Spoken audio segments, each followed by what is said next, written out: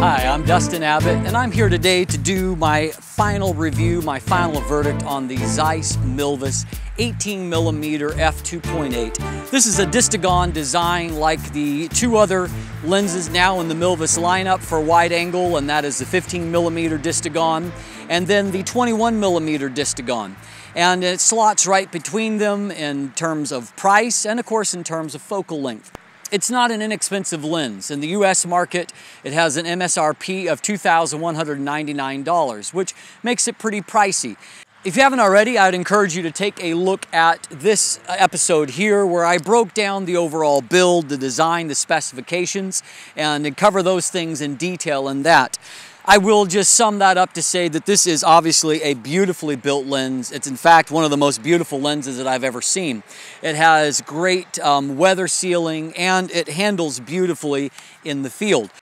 If you like using quality things, you're going to enjoy using the Milvus 18 millimeter. It's just a beautifully crafted lens, period. Beyond that, in the field, it has a very nice moving uh, focus ring. You know, it's in that sense, it's very Zeiss and very Milvus. It's perfectly damped and it glides along beautifully you'll find that um, learning to use hyper focus distance um, is going to help you a lot if you're not accustomed to um, focusing because I do find that with a wider angle, trying to achieve visual focus even with a body setup like mine with an EGS focus screen, it takes a little bit more practice. And so if you'll learn to use the hyper focusing um, markers, it makes it easy. You just keep everything in focus until those certain situations where you want to get really close to something, for example. This lens will focus down to a, a, close 10 inches and has a decent reproduction value to it. Um, beyond that, however, we're going to break down the overall uh, image quality and performance in the field. Um, one thing that I really liked using about it is the fact that it has a very common 77 millimeter front filter thread. That's certainly smaller than its, its two brothers, siblings in the Milvus lineup, and it means the filters are more accessible. I used a Haida Pro um, ND 1000 filter that I paid I think no more than $70 for, and I was able to get gorgeous long exposure images. I'll throw a couple of them up here for you to see. And, and so that certainly is much more convenient than the Tamron 15 to 30 that I'm using right now that has a curved front element and thus you can't use traditional filters. And so my filter system is big and it's bulky and it's, it's expensive. And so that's certainly a plus and something to consider if you're looking at a lens like this. Beyond that, it checks a lot of the right boxes. It has basically no chromatic aberrations that I've been able to see in the field. It handles that very, very well. Um, it's very flare resistant and, and holds contrast very well and has just the barest minimum of ghosting. And actually, I would say does better than the exceptional Distagon 15 millimeter in that regard, and certainly better than what my Tamron does because that bulbous front element does tend to catch the light a little bit um, with the Tamron. And so it's great in, in that regard. The distortion is very low, which is certainly a plus for this. I find that it doesn't really need much correction. And, uh, you know, one thing that's important to me that if you're going to use it like for shooting groups or shooting in a, a bridal situation, I noticed that um, when I shot in a staircase that um, there wasn't a lot of distortion there. The line stayed nice and straight. And so um, that's, it's good in that regard as well. The one area that it doesn't excel is when it comes to vignette, and, and that also makes it somewhat similar to the 15 millimeter Distagon. It vignettes fairly heavily, and while that's not necessarily a big deal in most situations, if you're shooting stills, it can be more of a deal if you are uh, shooting video with the lens, and of course Zeiss lenses are often very desirable for video shooters. And so that's something to watch out for. Another plus is it is a great astrophotography lens. Um, it does a great job at night and star points are rendered nice and sharp and if you look along the edges, coma is well controlled. There's no UFOs or flying ducks there, but rather star points stay pretty natural. Maybe just a little bit of stretching in the corner, but it's a great performance and actually it holds up very well when compared to the Distagon 15 millimeter or the Tamron that I'm shooting with that I think is really good in that regard. So it's a great performer there. We're going to take a few minutes and break down the image quality and in particular compare how the resolution compares to options like the Tamron that I've been alluding to. I'll put that at 18 millimeters, also f2.8 and then similar apertures.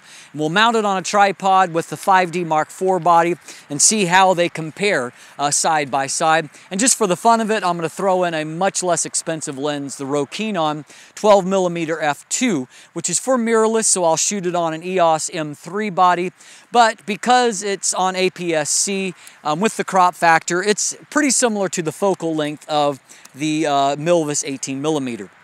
So let's jump in and let's take a look at how they compare.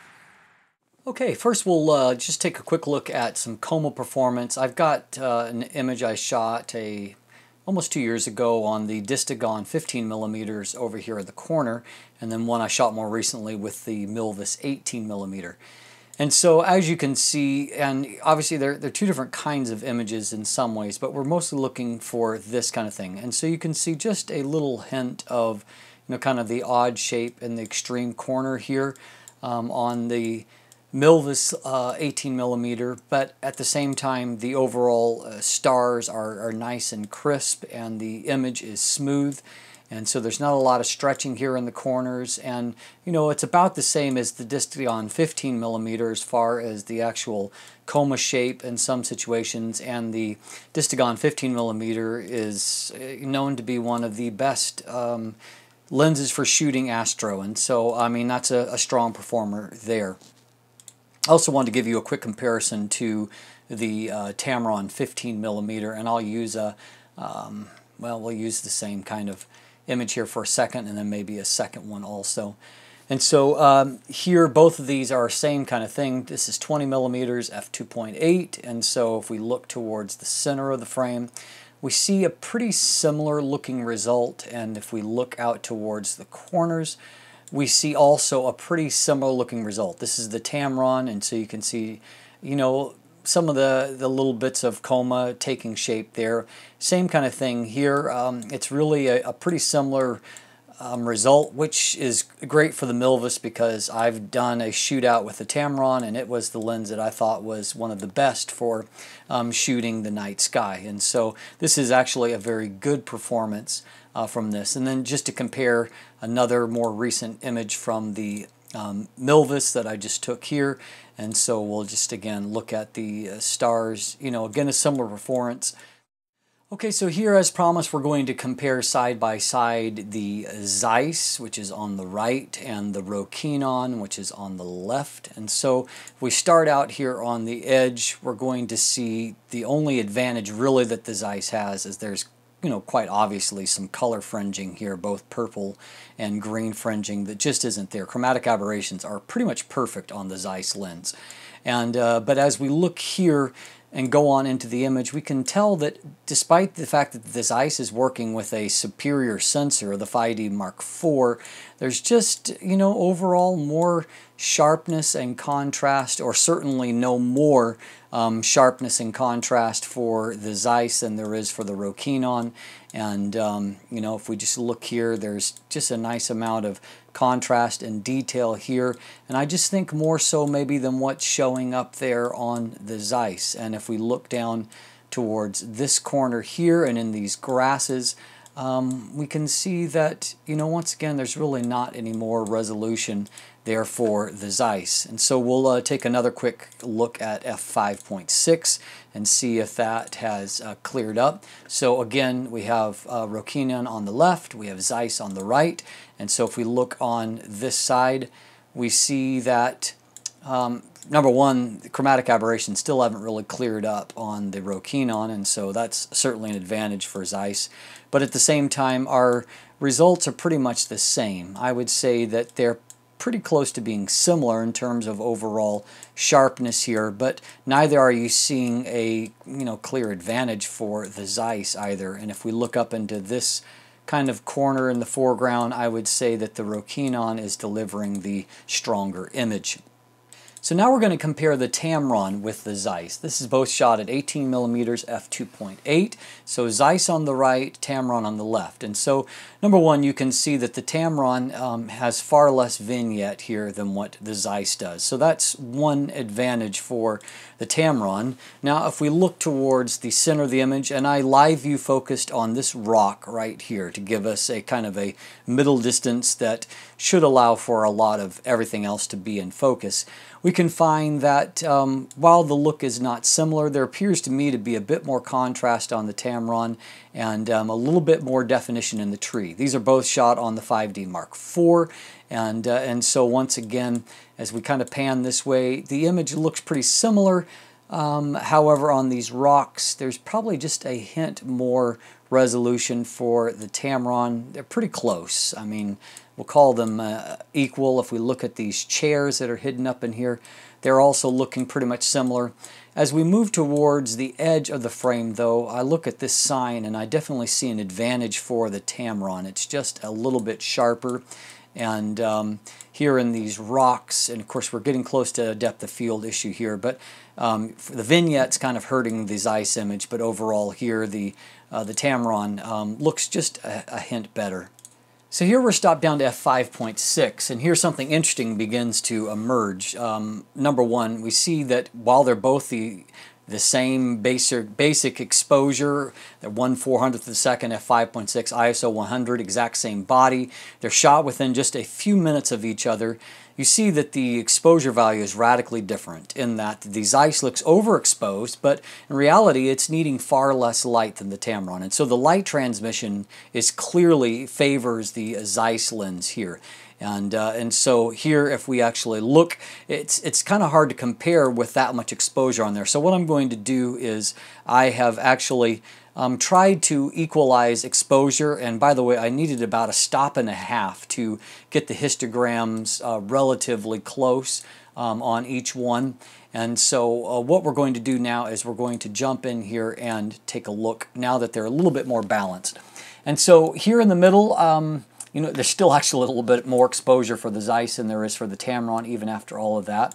I'm not really necessarily seeing an advantage for either lens. If we look at these chairs, they're both nicely rendered.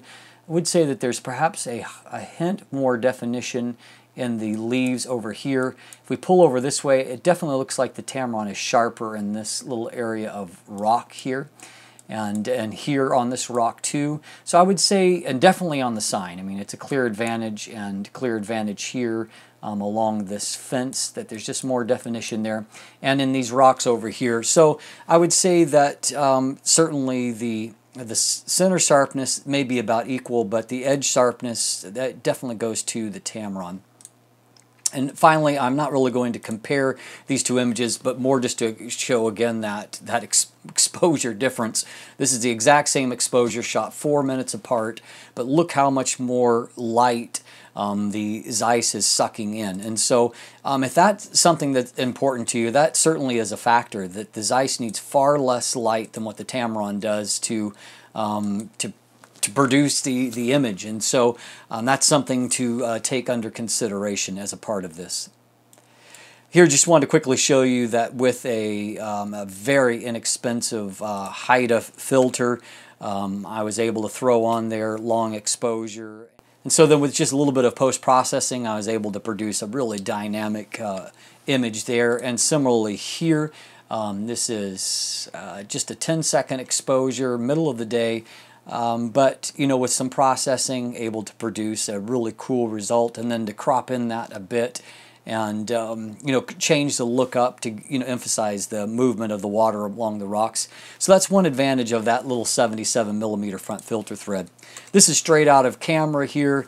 Just shows the uh, lens is very dynamic. Here's a lot of light coming towards the sensor. All of these cars passing by, but you'll notice the uh, it's, it's held up very, very well against that flare. Similarly here, and a lot of movement in the sky, another long exposure shot here, but um, a great result there.